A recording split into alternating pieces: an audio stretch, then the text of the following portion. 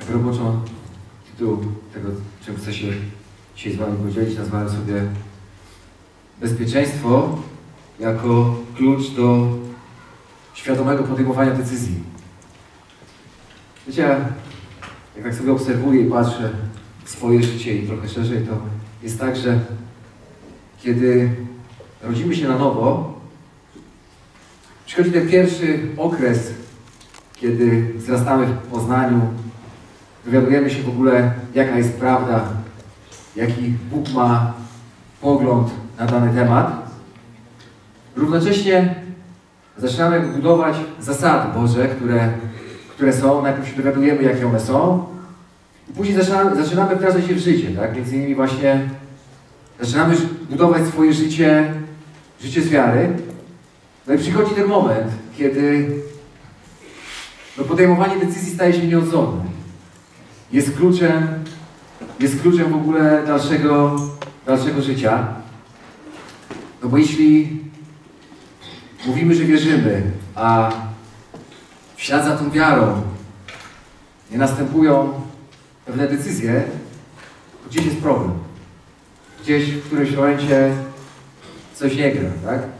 Jak tak patrzę sobie szeroko, to od najmłodszych lat, jak człowiek przychodzi tutaj na ziemię, to bezpieczeństwo jest takim kierunkiem poszukiwań każdego człowieka. Każdego bez wyjątku. Spójrzcie na niemowlaki. Niemowlak przy piersi matki, oprócz tego, że je, to tak naprawdę szuka bezpieczeństwa. Nic tak nie jest w stanie go uspokoić, jak pierś matki. Tak? Od razu, od momentu, kiedy wyszedł z brzucha, nazwijmy to tak, szuka bezpieczeństwa. Później, kolejne lata życia, zwróćcie uwagę, że większość dzieci kilkuletnich, tak, do, do, do, to różnie jest ta granica, tak, 10, kilkanaście lat, ale te dzieci, które mają powiedzmy 7-8 lat, one myślą i mówią tak jak rodzice. Autorytet rodzica jest dla nich jednocześnie bezpieczeństwem. W tym się czują bezpiecznie. Nawet nie są w stanie pomyśleć w tym wieku jeszcze, że rodzic może się mylić. Jest potrzeba bezpieczeństwa, tak? Wiecie, i tak, jak patrzę w swoje życie, czasami człowiek pewnych rzeczy nie nazywa. Ja na przykład jako dziecko bezpieczeństwa szukałem też bardzo dobrych ocenach w szkole. Bo mówili mi, a jak chcesz być bezpieczny, chcesz być kimś, to musisz się dobrze uczyć. I ja świadomie czy podświadomie, ale brnąłem w tą stronę, bo co? No bo bardzo chciałem być bezpieczny. Tak? Bardzo chciałem być bezpieczny. Zobaczcie, kiedy spojrzymy na ten temat szerzej, tak naprawdę cały system religijny, on też w jakiejś formule odwołuje się do poszukiwań bezpieczeństwa. Zobaczcie, jak będziesz dobry, to pójdziesz do nieba. Co to jest? Jak będziesz dobry, tak? Ale pójdziesz do nieba. I ludzie wchodzą w to tak naprawdę, no bo chcą, chcą być bezpieczni. Z drugiej strony na to patrząc teraz, tak? Wszelkie używki, wszelkie stany, w które wprowadzają się ludzie, tak? Alkohol, narkotyki, tak? Co one mają na celu? Mają na celu doprowadzić człowieka do miejsca bezpieczeństwa. Chociażby pozornego, chwilowego, tak? I e, fałszywego, ale w mniemaniu tej osoby to jest jakieś bezpieczeństwo. To jest ucieczka przed czymś, z czym on sobie nie radzi, przed takim stanem zagrożenia. Tak? I teraz zobaczcie, patrząc na nasze życie narodzonych z Bożego Ducha ludzi. Każdy człowiek narodzony z Bożego Ducha, każdy jest bezpieczny. Pod warunkiem, że nie da się oszukać diabłu, że nie jest. W przypowieściach Salomona 18:10 czytamy tak. Imię Pana jest mocną wieżą. Chroni się do niej sprawiedliwy i jest bezpieczny imię Pana. Oczywiście nie mam tu na myśli kogoś, kto potyka się na ulicy i mówi o Jezu, tylko imię Pana, czyli wszystko, co stoi za imieniem Jezus. Każda pogląd, każda myśl, każde zachowanie, tak? Imię Pana jest mocną wieżą. Chroni się do niej sprawiedliwy. Sprawiedliwy to każdy człowiek, który narodził się z Bożego Ducha. I jest jaki? Jest bezpieczny. I to jest prawda. To jest prawda.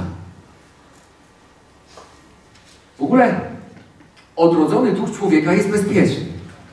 Tu w ogóle nie chodzi o ducha, bo on jest bezpieczny, tak? Ale bezpieczeństwo, o którym my tak naprawdę często w życiu mówimy, e, to ono tak naprawdę dotyczy naszej duszy. Czy my na poziomie naszej duszy jesteśmy świadomi tego w ogóle, że, że my jesteśmy bezpieczni na poziomie przeżyć tej duszy, tak? Czy my jesteśmy w ogóle, no bo to dusza, jak nawiążę do tego, co powiedziałem na początku, to dusza odpowiada za podejmowanie decyzji. To dusza odpowiada, tak? Więc idąc dalej, bo uważam, że to jest bardzo ważna rzecz, że bezpieczeństwo w takim rozumieniu, którym chcę dzisiaj do Was mówić, to jest stan umysłu. I tu w ogóle nie chodzi, i celowo będę robił różnicę, tu w ogóle nie chodzi o poczucie, o poczucie bezpieczeństwa. Tu chodzi o bezpieczeństwo jako obiektywny stan, który tak naprawdę nie ma nic wspólnego z poczuciem bezpieczeństwa, które często jest subiektywne, zależne od okoliczności i zależne od emocji, jakie w danym momencie nam towarzyszą. Weźmy taki przykład. Niedzielnego nabożeństwa. Spotykamy się razem, uwielbiamy Boga. W czasie tego uwielbienia zakładam, że większość osób spotyka się blisko z Bogiem. Później jakby poselstwa, nauczanie. W trakcie tego spotkania zdecydowana większość ludzi, mam nadzieję, że wszyscy, odczuwają bezpieczeństwo. Czują się bezpiecznie. Spotkanie z Bogiem powoduje, że poziom, poziom ich bezpieczeństwa rośnie. No ale kiedy dzisiaj wrócisz do domu i uznasz wieczorem, że chcesz obejrzeć film, włączysz sobie thriller, bo horrorów zakładam, że, że nie oglądacie, chociaż jak kto lubi, i zaczniesz wciągać się w akcję, tak? Zaczniesz ją przeżywać. To przez chwilę poczucie Twojego bezpieczeństwa może zostać zachwiane. Ale tak naprawdę to poczucie, ono nie ma nic wspólnego z Tobą. Ty cały czas leżysz na tej kanapie i jesteś bezpieczny. Jesteś bezpieczny, tak? Z drugą stronę też ludzie, którzy nie są narodzeni z Bożego Ducha, tak? Jak, jak się nachlają, no to rośnie w nich poczucie bezpieczeństwa. Niektórzy wręcz latają i mówią, że są nieśmiertelni. No mają takie poczucie. Ale jak kiedyś, wiecie, przeanalizowałem sobie dokładnie Słowo Boże w tym zakresie i masę razy, nawet tego nie wypisywałem, jak chcecie to posprawdzajcie. Jest wiele razy taki przykład, że jakiś mocarz czuł się bezpiecznie, ale on się tylko czuł i za chwilę został strącony, bo jego poczucie bezpieczeństwa było pozorne, było, było fałszywe, tak? A i tak naprawdę nie był bezpieczny i przepadł z kretesem. Ewangelii Łukasza w 11 rozdziale 21-22 Jezus mówi tak. Gdy zbrojny mocarz strzeże swego, bezpieczne jest jego mienie. Lecz gdy mocniejszy od niego najdzie go i zwycięży, i tu jest bardzo ważne, zabiera mu zbroję jego, na której polegał i rozdaje jego łupy. Jest zbrojny mocarz, który czuje się w ogóle, strzeże swego, czuje się bezpiecznie. Najeżdża mocniejszy i zabiera zbroję jego, na której polegał. To jest pytanie, na jakiej zbroi budowane jest, budowana jest świadomość bezpieczeństwa. Na czym polegasz, tak? Na czym lub na kim opierasz Twoje bezpieczeństwo? Z kogo lub z czego je wywodzisz. Tak? Wiecie, to, to, to, to, jest bardzo ważne, nie? Ludzie, kiedy mają milion złotych na koncie, mówią, ja jestem bezpieczny, jestem narodzony z, Bożu, z Bożego Ducha, mam milion na koncie, jestem bezpieczny. Czy tak samo bezpieczny jesteś, jak masz 10 tysięcy debetu? Nie mówię, że tak ma być. I nie mówię, że to jest jakby normalne, bo to nie o to chodzi, tak? Ale chodzi mi o bezpieczeństwo. Co jest tą zbroją w tym momencie? Czy rzeczywiście Chrystus, imię Pana jest mocną wieżą, chroni się w niej sprawiedliwy i jest bezpieczny? Czy bańka na koncie? Czy sprzyjające okoliczności? Jak wiatr wieje w żagle, to wszyscy płyną i mówią, że jest świetnie. Ale jak zmienia się wiatr, jak to wpływa na świadomość bezpieczeństwa, tak? Chodzi o to, że to Jezus, Jezus Chrystus jest to jedyny, prawdziwy, ostateczny pułap bezpieczeństwa dla człowieka. Jedyny. Jeżeli człowiek jest w Chrystusie, jest bezpieczny. Amen. Jeszcze raz powtórzę, to stan obiektywny. Poczucie bezpieczeństwa to nie jest prawdziwe bezpieczeństwo. To jest często tylko i wyłącznie emocjonalny stan, który może być fałszywy. Powiedziałbym to tak. Bezpiecznym się jest, a nie tylko czuje. Bezpiecznym się jest. Ale odczucia w tym zakresie mogą być fałszywe. O co chodzi? Chodzi o to, że człowiek świadomy swojego bezpieczeństwa to bomba atomowa na diabła. Bomba atomowa. Dlatego diabeł robi wszystko, aby okłamywać ludzi i tak naprawdę przekierowywać wzrok na okoliczności, które nam towarzyszą każdego dnia, różne okoliczności, tak?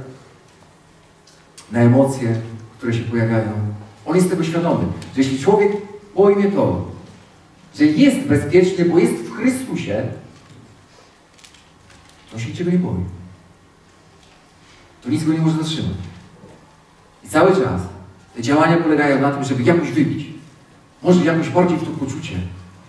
Uzależnimy tam, w tym momencie, od tego, co widzisz, od tego, czego doświadczasz, tak? Tylko człowiek bezpieczny jest w stanie w pełni rozpoznać i wypełnić swoje powołanie. Tylko człowiek, który jest świadomy swojego bezpieczeństwa. I tak przykład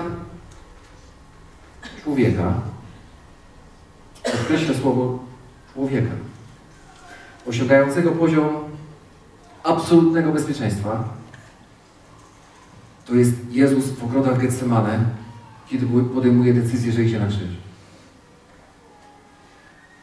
Jezus jako człowiek podejmuje tę decyzję. Okoliczności są niesprzyjające. Generalnie jest zadyma, jest świadomy tego, co będzie. Emocje też mu towarzyszą.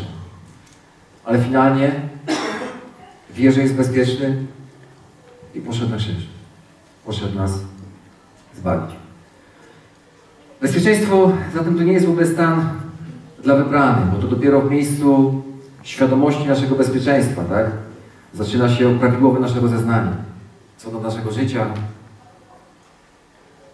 powołania też, tak?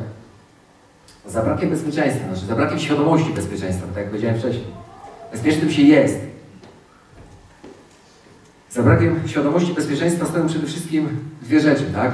To jest lęk i niedowiarstwo. To są takie dwa główne triggery. Ja dzisiaj nie będę do, do, o tym dużo mówił, bo to, to, godzinami można było mówić tylko i wyłącznie na temat e, samego lęku czy, czy niedowiarstwa, ale to są takie dwa główne triggery, tak? Czyli słowem jest, masz brudny filtr na poziomie swojej duszy, tego co odbierasz ze swojego ducha, tak? Czyli jest to albo w jakiś sposób e, rozpoznajesz to błędnie, tak? No bo rozpoznajesz to, to tylko częściowo. I teraz chodzi o to, że jeśli człowiek nie jest świadomy swojego bezpie bezpieczeństwa, jeśli nie jest bezpieczny, tak? W jego mniemaniu nie jest bezpieczny, tak? To on się będzie bał przy podejmowaniu decyzji będzie się bał pewnych negatywnych konsekwencji. Wydaje mu się, że jest jakby coś więcej, co jest w stanie mu zaszkodzić, co jest w stanie gdzieś tam go, go zatrzymać. I lęk jest w stanie go zatrzymywać, tak? Możesz już wiedzieć, kim jesteś,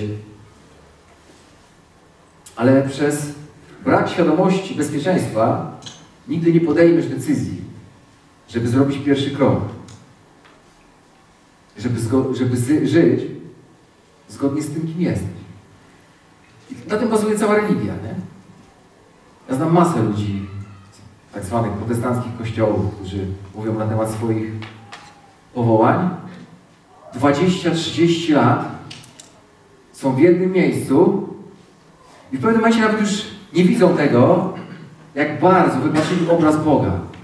Że to Bóg przyjdzie, joystickiem zrobi jakiś ruch, to tak jak Artur mówił teraz na temat tej Betesdy i coś się zadzieje. I wtedy ktoś wejdzie, wejdzie w to swoje powołanie. To jest takie piękne, religijne określenie, tak? W piątej Mojżeszowej, w 12.10 czytamy tak. Lecz gdy przeprawicie się przez Jordan i osiądziecie w ziemi, którą Pan, Wasz Bóg, Was obdarzy i sprawi, że spokoju od wszystkiego, od wszystkich Waszych nieprzyjaciół wokoło i będziecie mieszkać bezpiecznie. Co tu jest napisane? Lecz gdy przeprawicie się przez Jordan, czyli najpierw, gdy podejmiecie taką decyzję, że się przeprawicie, przeprawiacie przez Jordan, tak? A następnie zrobicie krok w jej wykonaniu. Przeprawić się przez Jordan. Nie, przyjdę i przeprawię was przez Jordan. Będziecie świadomi, że jesteście już jakby tylko podejmiecie decyzję i zrobicie ruch. Tak, jak sobie dzisiaj rano modliłem się, patrzyłem sobie w to słowo, tak mi tu święty przypomniał takie dwie sytuacje. Z początku mojego nawrócenia podzielę się nimi z wami, skoro mi je przypomniał. Jedna to była taka, że pamiętam, był to pierwszy rok, w którym się narodziłem na nowo. Dowiedziałem się już, że mogę kłaść ręce na chorych i oni będą zdrowi. Dowiedziałem się już, że wiara działa. I pamiętam był czas, że mieliśmy jechać na wakacje. Mieliśmy lecieć samolotem z dwójką małych dzieci, z Julitą na, na Sycylię. I Dwa dni przed wylotem, nie pamiętam dokładnie ile, nie ma takiego znaczenia, okazuje się, że Julian ma zapalenie stawów i nie jest w stanie chodzić. I generalnie pojawia się ciśnienie, naprężenie, on leży. Ja w prostocie tego, co, co przyjąłem, co zrozumiałem, wiedziałem, że mogę położyć ręce i on będzie zdrowy. Poszedłem do niego, położyłem ręce, powiedziałem, że jest zdrowy i że będzie miał cudowne wakacje. Ludzie czasami, jak się mówi w takich sytuacjach, to myślą, no tak, tak, tutaj, wiesz, to okoliczności. W mojej głowie przez cały czas diabeł mówił tak. Nie chcesz się odwołać wakacji. Masz gdzieś jego. Może ci szkoda kasy, że ci przepadnie. A ja świeżo nawrócony. Nie, on jest zdrowy, bo położyłem ręce. Okoliczności w ogóle nie były sprzyjające. Położyłem ręce. Słuchajcie, jak jechaliśmy na dworzec, my z Julitą, dwójka dzieci, cztery walizki plus bagaże podręczny. Wyglądało to mniej więcej tak. 5 metrów walizki, wracam. Juliana, kładę, 5 metrów walizki i tak cały czas. Ale mówię nie. W ogóle przeczytałem o Bogu, który uzdrawia że ja ręce kłaść będę na chorych i będą zdrowi. Nie, wszystko, nie po wszystko, to, to, to, był początek, ja nie, nie, nie po wszystko jeszcze wtedy potrafiłem jakby też sięgnąć i wszystko rozumiałem, ale to wbiło się we mnie bardzo mocno. Zajechaliśmy w nocy, wylądowaliśmy tam nas do, do, dowieźli do tego hotelu. Idziemy na recepcję, pchamy walizki, wnoszę Juliana. Ale mówię nie, on jest zdrowy. Pierwszego dnia został w pokoju, kupiliśmy mu tylko jakąś grę, żeby spędzić czas. Od drugiego dnia miał świetne wakacje. chodził i pływał. Podjąłem decyzję, to są trudne decyzje. Tym bardziej, że tylko ja byłem nawrócony.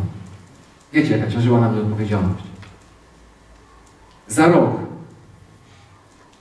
jedziemy na wakacje. Tym razem samochodem. Też do Włoch w inny rejon. Dzień przed, czy też dwa dni przed, okazuje się, ja, już też Julita była wtedy nawrócona, ale, ale krótko. Okazuje się, że Julian ma jakąś anginę, ale taką anginę, że w ogóle nie może nic jeść.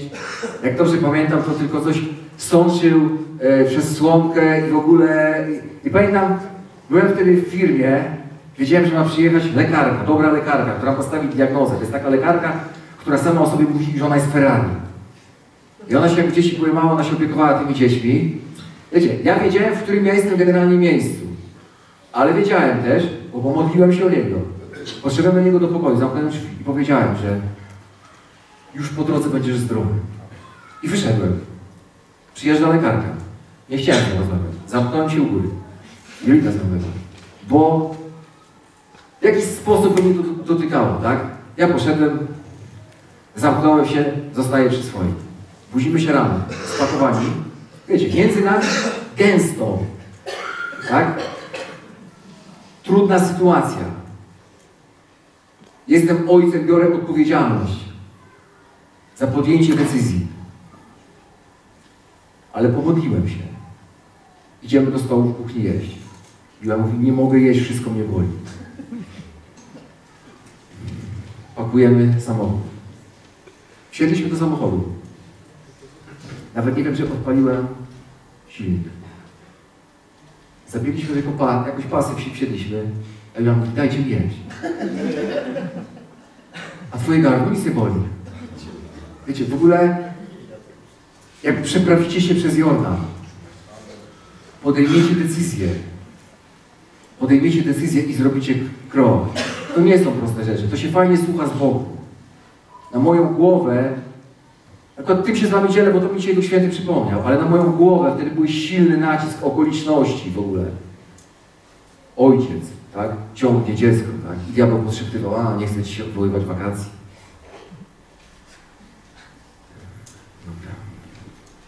Jakie jest to bezpieczeństwo w Chrystusie? Jakie ono jest? Izajasz 32, 17.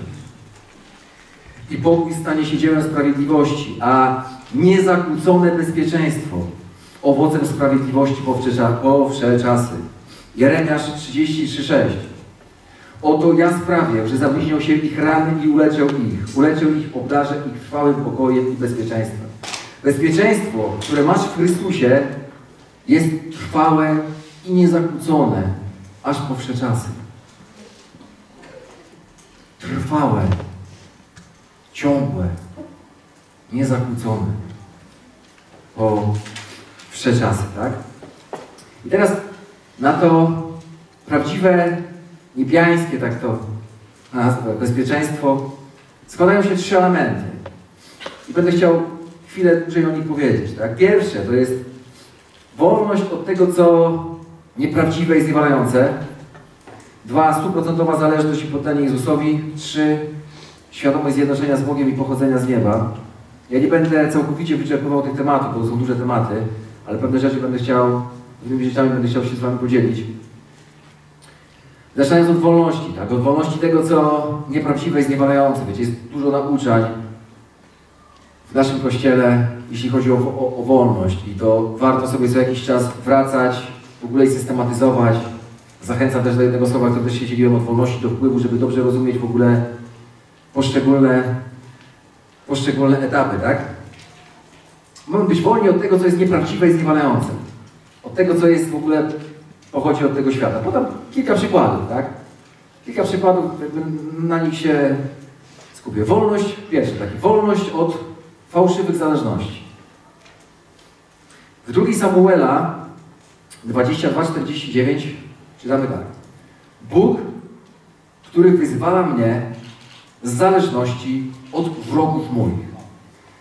To słowo wróg to jest tak naprawdę słowo niepobożny, niewierzący przeciwnik. I teraz w Ewangelii Łukasza 11:23 Jezus mówi tak: Kto nie jest ze mną, jest przeciwko mnie, a kto nie gromadzi ze mną, ten rozprasza. Więc kto nie jest z Jezusem, jest przeciwko niemu. Tak? Jest jego przeciwnikiem. Przeciwnikiem Jezusa. A więc i Twoim przeciwnikiem. To jest bardzo niehumanistyczne, ja wiem, ale to jest prawda. Jezus tak powiedział. I teraz, łącząc te dwa słowa, Bóg wyzwolił Cię w Chrystusie Jezusie z zależności od osób nienarodzonych z Bożego Ducha. Od wszystkich osób nienarodzonych z Bożego Ducha. Od rodziny według ciała też. Kto nie jest z Nim, jest przeciwko Niemu. I teraz, jeśli tkwisz w takiej zależności, tak? Nie przyjąłeś prawdy, więc też nie jesteś wolny w tym temacie. To, że nie jesteś wolny w tym temacie, ma dalsze konsekwencje w tym, na poziomie przeżywania swojej duszy, ty nie odczuwasz, czy nie, nie doświadczasz, nie masz świadomości tego bezpieczeństwa, które ono jest. Bo tu gdzieś popełniasz błąd. Bóg wyzwolił Cię w Chrystusie Jezusie z zależności od osób nienarodzonych z Bożego Ducha. Jesteś wyzwolony z tych zależności. Kolejny przykład tych fałszywych zależności, tak? No to fałszywe związki dusz, zresztą to się mocno łączy, tak? Nikogo nie znasz według ciała. Nikogo nie znasz według ciała. Twoja, nie wiem, nawrócona siostra czy brat, tak? No nie są ważniejsi niż inni Twoi bracia czy siostry w Chrystusie. Wiecie, zresztą to, ja to uważam, że to jest jakaś tam forma w ogóle patologii. Mówienie brat, brat rodzony, brat w Chrystusie. To już ma w sobie jakiś element niedowiarstwa. Brat to brat. Jest jeden. Jesteś narodzony z Bożego Ducha, to masz brata narodzonego z Bożego Ducha. W ogóle operowanie tymi słowami to, to są takie religijne hasła. Nie ma innych. Jesteśmy wyzwoleni z fałszywych zależności. Tak? Zobaczcie, bo to są tak naprawdę takie subtelne rzeczy. Ale one powodują pewne konotacje, tak? I brak świadomości bezpieczeństwa, chore, chore zależności, to też chore lęki, które później za, za nim przychodzą, tak? Jezus nie ma względu na osobę, tak? Nie ma względu na osobę. To, co szeroko Artur tydzień temu mówił, tak? Czyli wolność od, od starego, wszelkich ziemskich nakazów czy zakazów, od wszelkich konwenansów. To w ogóle z każdej strony nas otacza, nie? Powinieneś to, powinieneś tamto. Rybę się je takim widelcem, tak, a zupę takim. Nie? Tak, gdzie nie pójdziesz generalnie, jakby jest, powinieneś to, powinieneś tamto.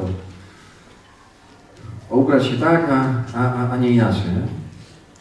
Wolność od wszelkich fałszywych poglądów. To każdy generalnie mówi tak, no tak.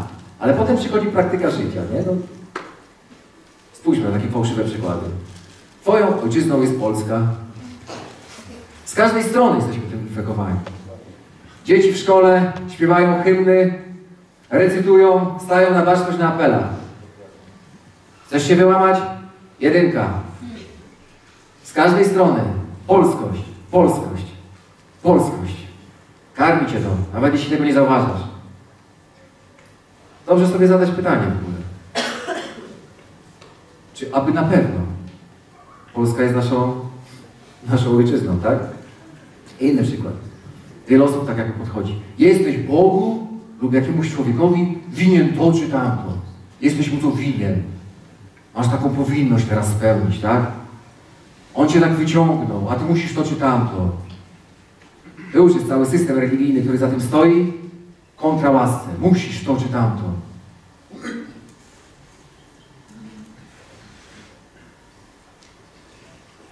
Albo prawdziwe uwielbienie jest tylko w rytm Hillsonga. Słuchajcie, my się śmiejemy, ale wiele osób tak uważa, tak?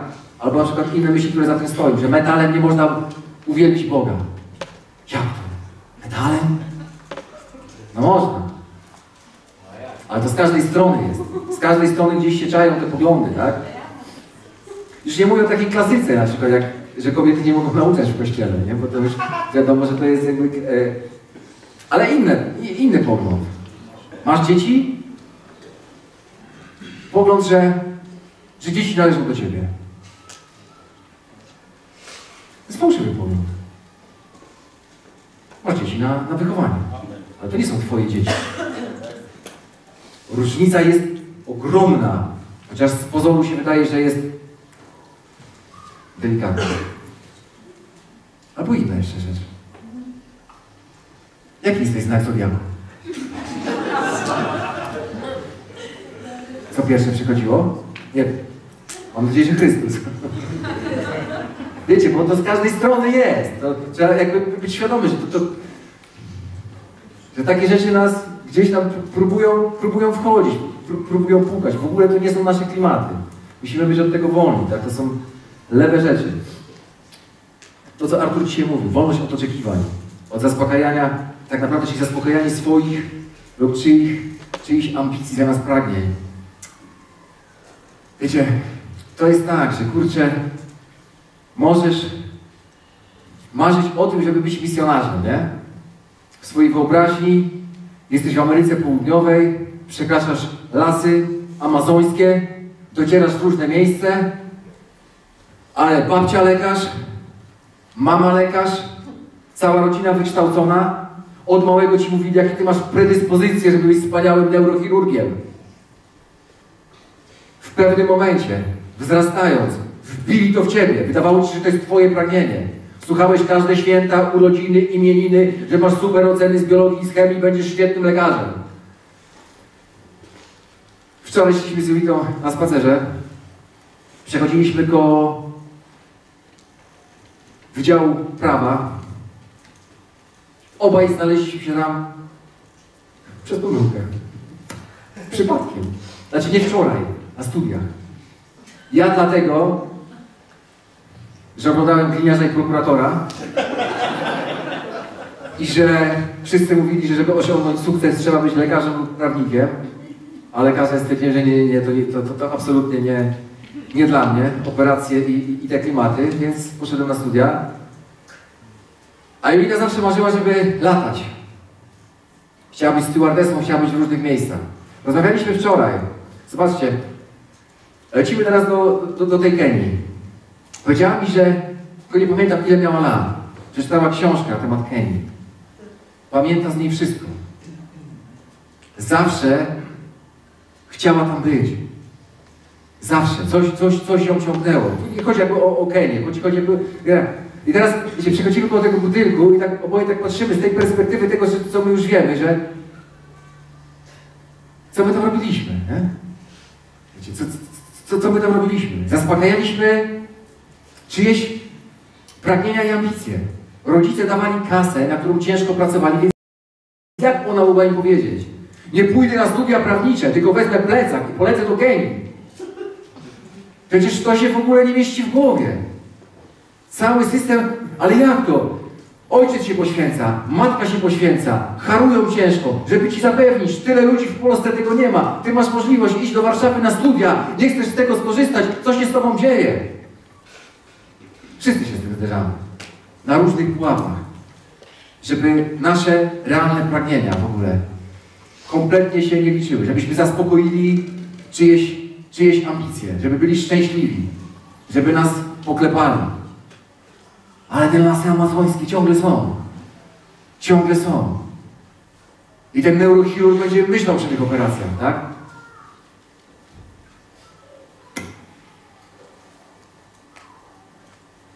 To z takich przykładów, jeśli chodzi o wolność. Jednakże to, co jest ważne tutaj, to to, że wolność nie jest końcem zagadnienia. Że w ogóle wolność jest, jest jego po, początkiem. To jest tak naprawdę pierwszy pułap tego wzrostu świadomości e, bezpieczeństwa. I teraz, dlaczego tak wiele osób daje się oszukać i gubi się po tym, jak wychodzi na wolność? Myślę, że to jest koniec tematu. że teraz to tak o, nie wiadomo jak, nie? Bujać się, wracać, przecież już nie mam takich poglądów, chociażby jak te przykłady, które przed chwilą e, wymieniłeś.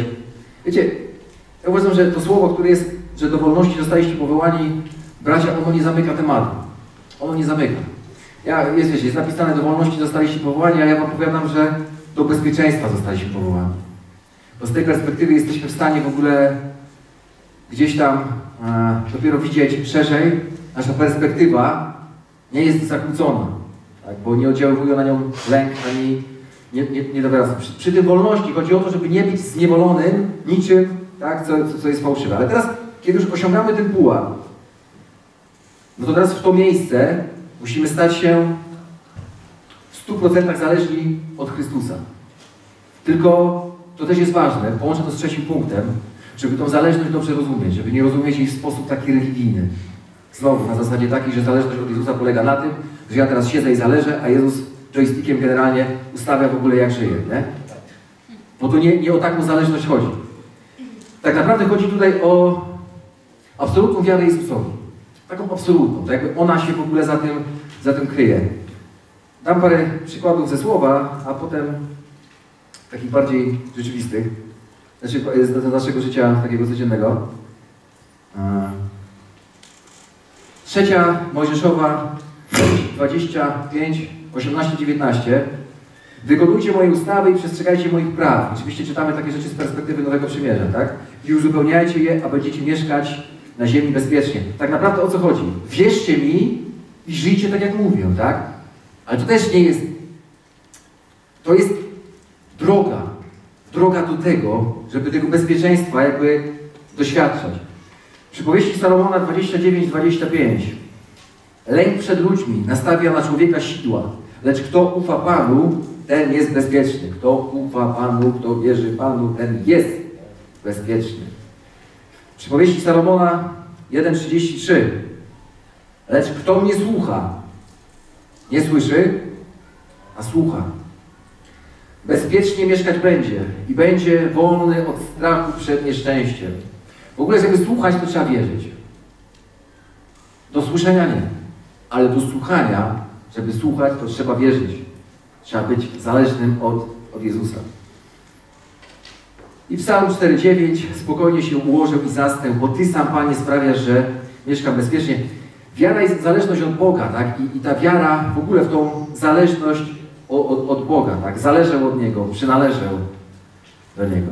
Teraz spójrzmy na tą zależność od Chrystusa w praktyce, tak? O co chodzi, tak? Czyli chodzi o niepokładanie wiary, a także nadziei w kimkolwiek lub czymkolwiek innym niż Chrystus, tak? Na przykład, to co też dzisiaj wyraźnie padło, w naturalnych zdolnościach, talentach, pochodzenia, znajomości. Wiecie, w pierwszej chwili to jest tak, jak pada takie słowo, że ten, na przykład, kto nigdy nie miał jakiegoś mocnego pochodzenia czy znajomości, to mówi, tak, tak, to powinniśmy robić, tak? Generalnie, nie? Ale teraz, jeśli przed w Twoim starym życiu, tak, było coś takiego, co było takie mocne, tak? Pytanie, czy tak naprawdę to nie w tym upatrujesz tak naprawdę jakimś takim swoim talencie tej, tej całej nadziei lub, lub, lub, lub wiary. Zmierzam do tego, że tak naprawdę chodzi o to, żeby nie mieć planów awaryjnych. To jest taka bardzo subtelna rzecz. Na wypadek, gdyby nie wyszło. Delikatna. Przecież chcę dobrze. Idę w dobrym kierunku. Robię to czy tamto. Ale na wypadek, gdyby nie wyszło, to jestem mądry i roztropny, więc się zabezpieczę. Guzik prawda. To nie jest zależność od Chrystusa. To nie jest zależność. Palenie wszelkich mostów w zakresie kompromisów i zależności od świata. Wiecie, bo to można sobie tak pięknie opowiadać. Coś wam powiem, że nie, nie raz tak było. Szczególnie w pierwszym okresie, kiedy wychodziłem głosić Ewangelię w jakimś takim miejscu, gdzie potencjalnie przechadza się masa moich klientów czy współpracowników.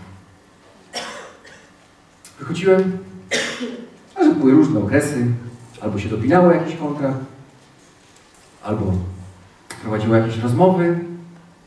Wychodzę, zaczynam głosić i słyszę taki głosik.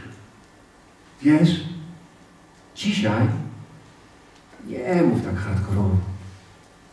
Dzisiaj, wiesz co, jak sobie podopinasz te tematy, za dwa miesiące im powiesz. Teraz tak wiesz, luz, luz, tak, tak, spokojnie.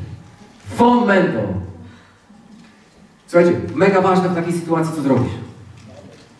Za każdym razem robiłem, mówiłem coś, co było najbardziej kontrowersyjne, co mi przychodziło do głowy, żeby spalić moc.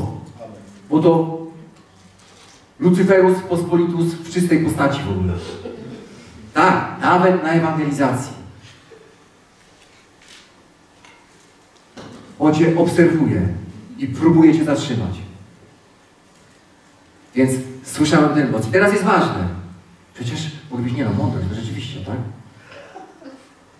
Dopnę sobie kontrakt za dwa miesiące, to powiem bardzo hardkorowo.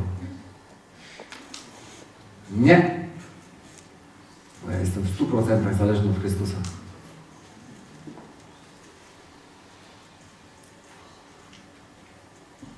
Niepokładanie wiary lub nadziei w stanie uposażenia materialnego, tak, który posiadasz i przyjęcie przez wiarę, że jedynym, absolutnym, dokonanym i skończonym źródłem Twojego zaspokojenia jest Bóg. Jeśli boimy się o pieniądze, to tak naprawdę nie, nie wierzymy, tak? Nie jesteśmy w tym temacie zależni od Chrystusa. I to taka jest prawda i nie ma co przekombinowywać i dokładać tego. Inny przykład. Powierzyłeś, czy powierzyłaś swoje dzieci Bogu, ale ciągle o nie drżysz. A niby wszystko do, do, dobrze, ale ciągle drżysz. Tak? To też nie jest zależność w tym temacie od Chrystusa. Tak? A lęk, jak każdy inny, ale lęk dzieci też, otwiera drzwi stadu demonów. Boisz się, że ktoś rzuci na ciebie przekleństwo. Co to będzie? Szaman w Kenii. Zapomniałeś, że Jezus stał się przekleństwem, abyś nie stał się, abyś nie był błogosławiony. Tak? Ciągłe zmaganie z odrzuceniem. Nie chcesz przyjąć, że Jezus został odrzucony, abyś Ty mógł być w Nim zaakceptowany. W ogóle, wiecie, nie da się być jednocześnie odrzuconym i poniżonym i bezpiecznym. Nie ma takiej możliwości. Nie ma.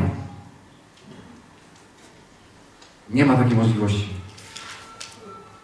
Kolejna rzecz, tak?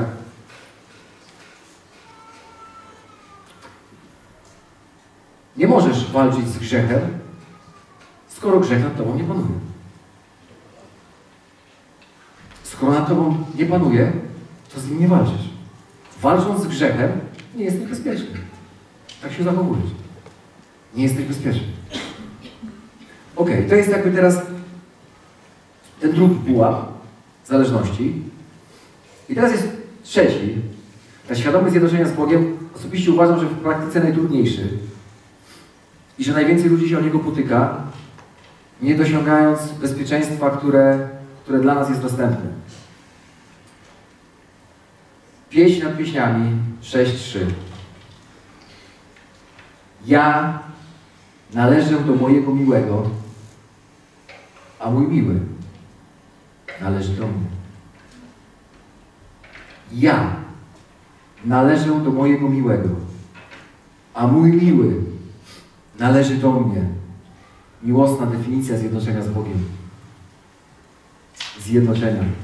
Nierozerwalne połączenie i zjednoczenie. Jak zagłębicie się w to dalej, to także współzależność.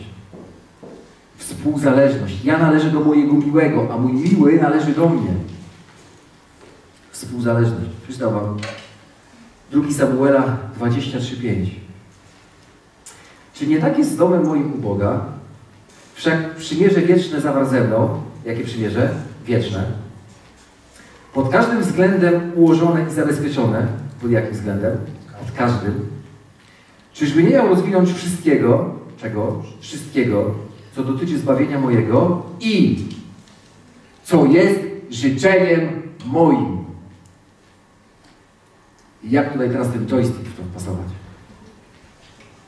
Że Bóg nim steruje. Czyżby nie miał rozwinąć wszystkiego, wszystkiego, co dotyczy zbawienia mojego i co jest życzeniem moim i Twoim. Słuchajcie, tak jak Jezus był zjednoczony z Ojcem i Ojciec uzależnił od decyzji, które podejmie Jezus. Kto podejmował decyzję, że pójdzie na krzyż? Jezus. Chodzący tutaj człowiek, który przyjął przez wiarę, że to o nim mowa, że on zbawi świat. Nie różnił się od nas. Chodził. I w tym momencie to nie ojciec użył joysticka. Ojciec włożył w niego to, co wkłada w nas przez Twojego świętego ducha. Pragnienia, siłę, moc, możliwości, cały zakres łaski. Ale to Jezus podjął decyzję, że idzie na krzyż. I dzisiaj my podejmujemy te decyzje. I to jest taki rodzaj współzależności. Taki rodzaj współzależności.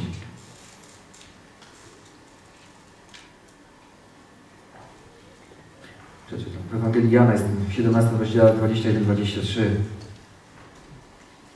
Ten fragment ważny dotyczący tego zjednoczenia. Aby wszyscy byli jedno tak jak. Tak jak. Ty, Ojcze, we mnie, a ja w Tobie.